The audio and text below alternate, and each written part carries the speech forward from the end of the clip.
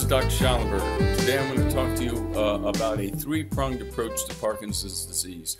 This is an approach that uh, will deal not just with the symptoms of the disease, but also with the cause or causes of the disease, and probably most importantly, the progression of the disease.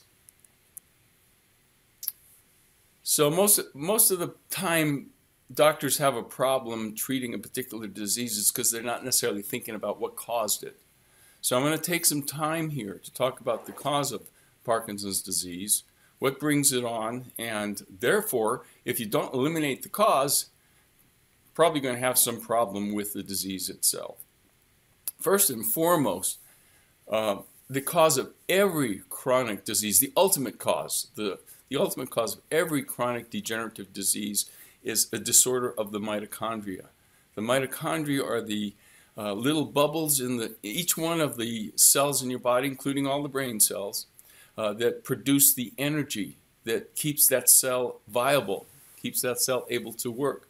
The problem with us is as we get older, as we get more toxic, as our hormones become depleted, as our diets become worse, as we develop other issues such as uh, inability to properly digest and assimilate, and um, as we get in, in worse and worse shape, there's a lot of things that happen, but the reality is the older we get, the lower our mitochondrial function gets, which means that we get less and less energy to the cell, which means that the cell can't do its thing. And, uh, and this is the, the, at the very heart of what causes all the neurological diseases, uh, uh, and Parkinson's is in that group. So I can pretty much promise you, and I measure mitochondrial function in all of my patients using this process called bioenergy testing. I can pretty much promise you that uh, every patient I've ever treated with Parkinson's disease has had very significant decrease in the mitochondrial uh, function and that needs to be corrected. Now, there's a lot of ways to correct that. Uh, uh, I, I, talk about it on many of the other videos, so I'm not going to get into that. But that needs to be measured and needs to be corrected to, the degree that it's out of sync. One of the best treatments for that, by the way, is ozone therapy. And so, very frequently, we use ozone therapy to help resuscitate these uh, tired old brain cells and make them work better. Uh, the other thing I want to mention to you is you need to look for toxicity. Uh, Parkinson's disease is caused by a toxic reaction in certain cells of the brain that produce a biochemical called uh, dopamine. And, uh, and these cells become destroyed. They can no longer produce the dopamine. We're going to talk a little bit about how you can raise the dopamine level anyway. But you might ask, why do the cells get destroyed? And the reason is for some form of toxicity. Uh, so the UPPA test, the UPPA stands for Urinary Porphyrin Profile Analysis. It looks at a series of enzyme sequences in the urine. It's inexpensive, it's easy to do. These enzyme sequences are affected by various toxins. Most notably, we're looking for heavy metals like mercury, arsenic, aluminum, uh, and lead, and cadmium. But any kind of toxicity will be picked up on that UPPA test, including pesticide toxicity, petrochemical toxicity, etc. So when uh, by evaluating the UPPA, you have a sense for how aggressive do you need to go with detoxification. And we're going to talk about that a little bit later. Uh, mostly what we're looking at is the heavy metals that I mentioned, but one particular thing that I want to make sure I discuss is this chemical called glyphosate. Glyphosate is a chemical that is the primary chemical that's in the pesticide um, Roundup. And uh, I believe that this is, uh, is probably the primary reason we have such an abundance of uh, Parkinson's disease these days. Let me show you this slide. If you look at this slide right here, this is deaths from Parkinson's uh, disease. And if you look at the graph, I just want to point out Go back down here to 1981, and you can see the death rate per 100,000 people was down in the area of uh, 1 to 2. 1 to 2 deaths from Parkinson's per 100,000 people. That's back in 1981. Now, as people get older and older, of course, that, that's going to go up because Parkinson's is a disease characterized for old people. So as the aging population gets older, you're going to see it go up. The green line represents what would be the normal increase, right here, the normal increase in uh, Parkinson's disease. So that it normally, if it uh, was going at, let's get back here, it normally if it was going at the same trend it was always going at, you'd have about 30 deaths per 100,000. But that's not what happened. Starting somewhere around in here, 1991, 1992, things started to take a sharp upturn. Now, what's interesting is these other curves. Look at these two other curves. The red curve represents the use of Roundup. Roundup is a is an herbicide that the farmers started using actually back in the 60s, but it gained huge amount of popularity in the early 90s. And right around there, the uptake in glyphosate uh, treat, uh, use in farming went dramatically up. That's what we're looking at right there. And then the use of GMO corn and soy went dramatically up. Now, might, what's the what's the uh, connection between GMO corn and soy? The connection is that GMO corn and soy were specifically genetically modified so they could stand large amounts of glyphosate.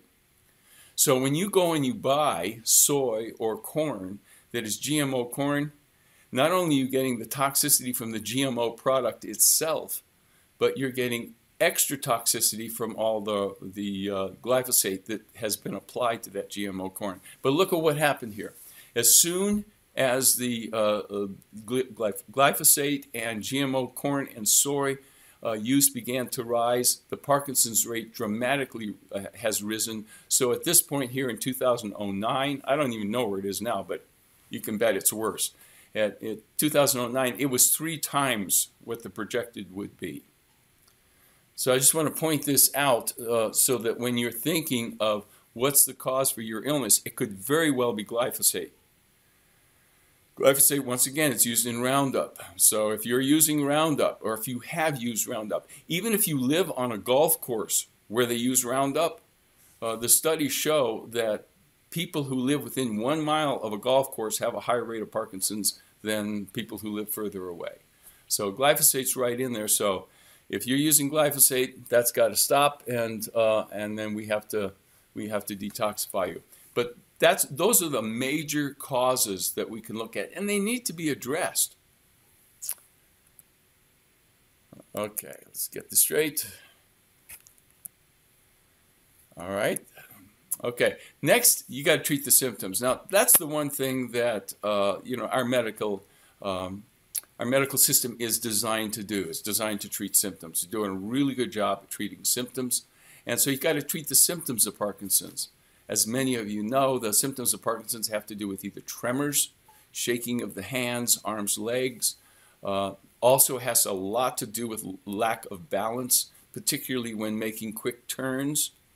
Uh, patients with Parkinson's are slower. They move slowly, they talk slowly, Everything's small. Everything's small and slow.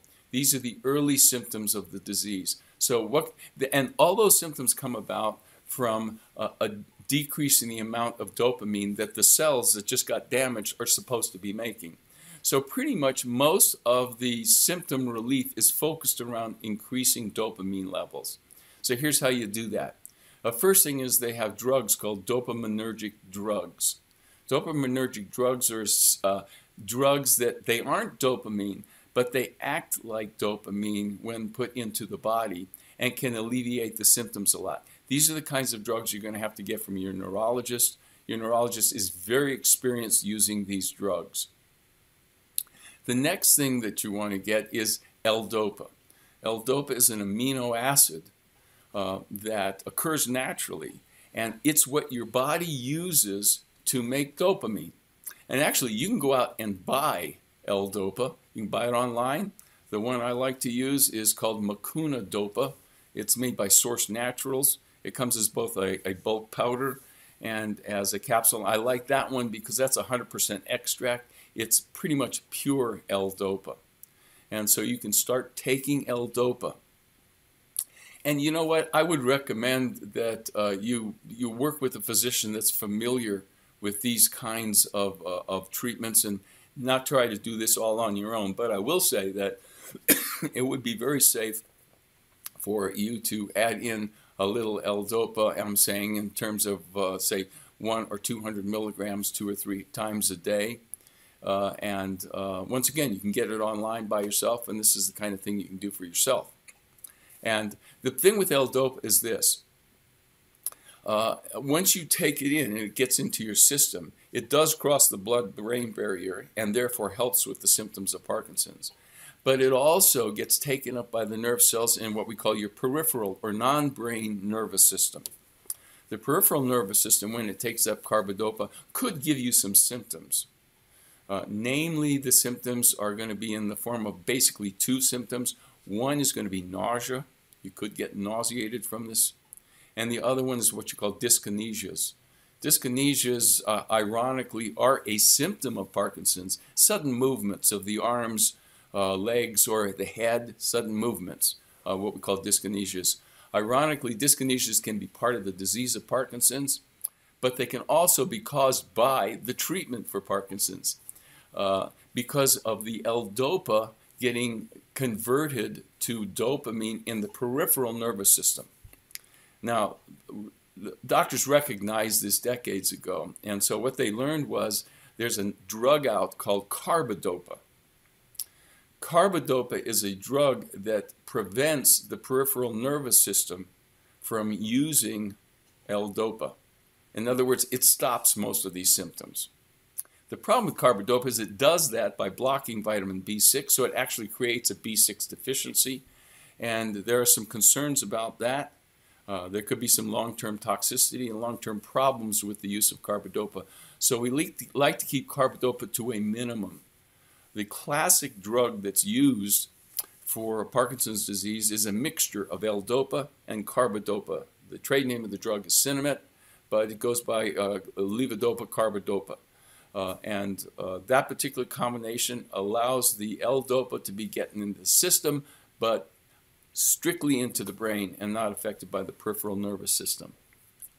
Uh, but as I say, it's nice if you can get away without the carbidopa. A lot of my patients do quite well on carbidopa, don't get me wrong. But if you can get away without the carbidopa and just go straight to the L-DOPA, that's actually a better thing to do. Uh, many of you don't know, but uh, nicotine, that's right, the stuff that's in the cigarettes, uh, has a dopaminergic activity to it. Uh, when you uh, smoke a cigarette, one of the things you're, that's going to happen is it's going to activate all the dopamine cells.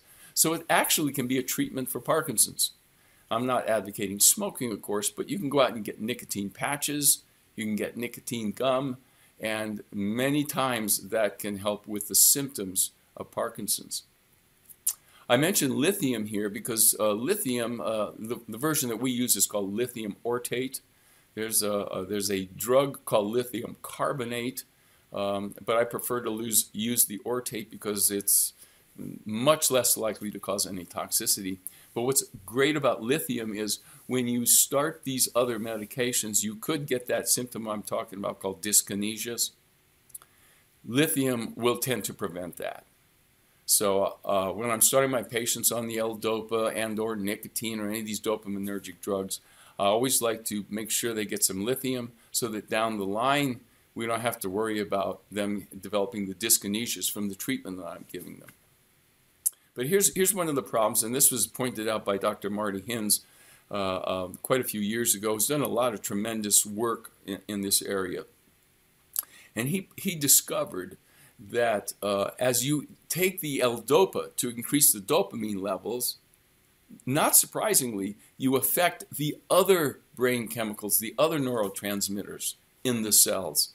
And after a while, that can be a problem. Uh, so, so what you need to do is you need to take some things to help prevent any imbalances caused by the L-DOPA. Those imbalances can be treated uh, with basically two other amino acids. One's called tryptophan, also known as 5-HTP, that's the activated form of it, uh, and the other one is tyrosine. So we like to take a little mixture of tryptophan and tyrosine and administer that at the same time. This lessens the chance of any side effects or problems from the DOPA therapy that I'm doing. Because, because what can happen is you get on the DOPA therapy, do pretty well, and then three, four months down the line, when the other neurotransmitters are thrown into it in a state of imbalance, you start getting symptoms, and uh, you don't realize that it's not the L-DOPA, it's just these other neurotransmitters out of sync. So to prevent that, that's what the 5-HTP and what the tyrosine is really good at doing. Um, also, I want to mention CBD and THC. CBD and THC are really good for the symptoms. These are the substances that are found in marijuana. Uh, if you live in a state where uh, there's uh, legalized uh, medicinal marijuana, you can go pick these things up. You can go into the dispensary. They, they can help you to decide, you know, what it is that you want to accomplish. Uh, but these substances can be very helpful at calming the tremor, very helpful at calming the uh, a lot of the symptoms, such as maybe swallowing difficulties, um, and uh, and they you know they're really good at helping you to sleep. One of the problems with Parkinson's patients is they don't have much of a tolerance for stress. If they get excited or upset, if they get a bad night's sleep, uh, this can really throw their symptoms into a turmoil and make them much worse. So we want to make sure all our Parkinson's uh, patients get really good sleep, and that's where the CBD and the THC can come in. Uh, if you're in a state that doesn't have legalized uh, marijuana, you can still get the CBD, the best version of it. You can get this online. The best version of it is called Charlotte's Web, Charlotte's Web CBD. You can get that, buy it online, and just take it and play around with it and adjust the dose. It won't make you high. CBD doesn't make you high. The only stuff that makes you high is the THC. Uh, it's actually nice to have a little THC in there, but if you're living in a state where that's not legal, uh, this is the next best thing at that. Also, I want to uh, definitely mention the programs, the big and loud therapy programs. Uh, you can go online, you can Google big and loud therapy for Parkinson's, and you can see all the various programs. This is a physical therapy program that can help patients with uh, Parkinson's symptoms alleviate a lot of their symptoms. I have seen this program do great things, and I highly recommend it for all my Parkinson's patients. The last thing I want to mention here in treating the symptoms is stem cell therapy. Uh, this is a new thing out. We're talking mostly about cord-derived stem cells slash exosomes, exosomes being uh, some of the elements that are in the stem cells. Uh, but it turns out that uh, stem cell therapy, particularly if you inject it straight into the cerebral spinal fluid, can be very helpful to eliminate and uh, uh, uh, get rid of a lot of the symptoms of Parkinson's disease. So, so far we talked about treating the cause, got to be doing that. And now we're treating the symptoms. But here's something that's probably the single most important thing to do, and that's treating the prevent, progression of the disease. The problem with Parkinson's is that it gets worse over time. Uh, so if you have this level of symptoms now, you can bet that down one, two, three, four years, those symptoms are going to be worse. That's why it's so incredibly important to start your treatment early. If you even remotely suspect you have Parkinson's, start the treatment. Because 100% of the time, this has been my experience, 100% of the time we can stop the progression of Parkinson's doing some of these things I'm going to tell you about in about two seconds. And if you're not that bad, if you have very minimal amount of symptoms, that what that means is in 10 years, you won't be any worse than you are now. And that's incredibly important because Parkinson's, for the most part, is progressive. It's true, some cases progress very slowly, some cases pro uh, progress very quickly, but the point is they all progress. So it's incredibly important to stop the progression. Here's how you do it you're going to take uh, substances. Basically, there's three of them I'm going to talk about because they work great for me. You're going to take three substances uh, that interfere with that mechanism that's breaking down the dopaminergic cells. So remember, there's a toxic mechanism that's killing these cells off. What these three treatments do is stop that mechanism from happening. So if you get rid of the cause and you stop the mechanism that's happening, you can stop the progression. Okay? There's the first thing I want to tell you about is L-cysteine. It is an amino acid 100% safe from L-cysteine. Only bad thing could happen to the L-cysteine if you take too much and you have a sensitive stomach, could make you nauseated. Uh, if that's the case, try taking less or take it with a little food. And, uh, and you should do really well and it's entirely safe. It's actually good for you in a lot of other ways too. But L-cysteine is an amino acid will cross into the blood-brain barrier, go to those cells that uh, are uh, dopaminergic cells that are being traumatized by this Parkinson's progression, and stop the damage. The other one that is, uh, is very powerful is melatonin. Everybody knows melatonin is a sleep aid, which indeed it is, but there is so much more to the melatonin story. Uh, you, you, can look in some of my other videos and you can see I get into this into a lot of detail. But, but just know this, melatonin is the most powerful neuroprotectant in the human body. It will protect your nerve cells, your brain cells more than any other substance in the human body. And the other thing I want to tell you about is melatonin. Is it safe in virtually any dose? The, uh, that nobody's even been able to discover an LD50 toxic dose of melatonin. That hasn't been able to happen. You can take a huge amount of it. It's entirely safe. And this is what I recommend. So I had a company make me up melatonin uh, capsules, 60 milligram capsules. Now this is a lot. If you, if you know about melatonin, you know most people don't take more than one, three, five milligrams, maybe 10. I'm going to talk to you about taking in the order of 120, 180 milligrams. But I want you to understand it's entirely safe. It's not going to hurt you. The worst that could happen is you could be uh, you could get the kind of reaction that about one in 20 people get. Most people don't get this reaction, uh, but uh, some people do, and so you need to know about it. In certain people, melatonin will uh, create sleep disturbances. They have very vivid dreams, or they just can't fall asleep, or they're restless. Uh, the other thing that I've seen happen in certain people is they wake up the next morning after having taken the melatonin in these high doses and they feel sort of drugged or extra sleepy. Uh, again, it doesn't happen very often, but if that's happening to you, the odds uh, just reduce the dose. Take as much melatonin as you possibly can take, up to about 180 milligrams. Take it all at once at bedtime. You can get it from this website right here. It's called uh, perfectvitaminproducts.com. Uh, they have a wonderful melatonin capsule. It's pure melatonin, uh, 60 milligram capsule. Uh, I'd start you off taking one at bedtime just to make sure you're not having a reaction.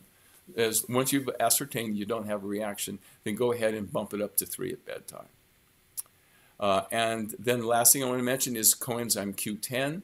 This is an, also a very powerful neuroprotective enzyme. And uh, now we're supposed to make CoQ10, but you know when you get to be a certain age, maybe you don't make all these things so well. And so it's a good idea to take CoQ10. Now this is a lot. So, uh, but that's what you need to stop the progression of Parkinson's. Little tiny doses are probably not going to do it. So you get some CoQ10. You can buy it uh, uh in 300 milligram capsules and take anywhere from 300 milligrams to 5, 600 milligrams. Do that two or three times a day. Those three things, cysteine, melatonin, CoQ10, flat out stop the progression of, of Parkinson's so that however many years you might have left in your life, your Parkinson's disease is not going to be any worse. Last thing I want to mention on here is the cofactors uh, uh, for uh, for these substances. It's the cysteine, the melatonin, the CoQ10. You need some cofactors, and also for the amino acids I mentioned on the last slide, the, the, the symptom amino acids. You need cofactors for them to work well Cofactors are basically B vitamins, um, uh, magnesium, uh, uh, some of the trace minerals, uh, vitamin C, vitamin E, etc. Those are all in a powder I made up called Quick Start Powder. I recommend this. You can get it online, uh, I think from advancedbionutritionals.com. Uh, there are plenty of good um, um, multivitamin sorts of capsules out there that have all the cofactors in them. So if you prefer that, that's fine. Uh, but the Quick Start certainly covers the bases, and it's also a very detoxifying factor. So uh, make sure that uh, if you have uh, if you have Parkinson's, if you even think you're coming down with Parkinson's, if there's a family history and so forth and so on, start early. Start treating this disease early on, and uh, you can stop it dead in its tracks. It does not have to be a problem for anyone. If you already have progressed Parkinson's and it's already pretty bad, you won't do as well as you would have done had you started it early. But still, these treatments will stop you from being worse next year. And with stem cell therapy, by the way, you can actually recover a lot of what you've already lost. So that's all I have to say for today. Take it easy, and I'll, I'll see you next time.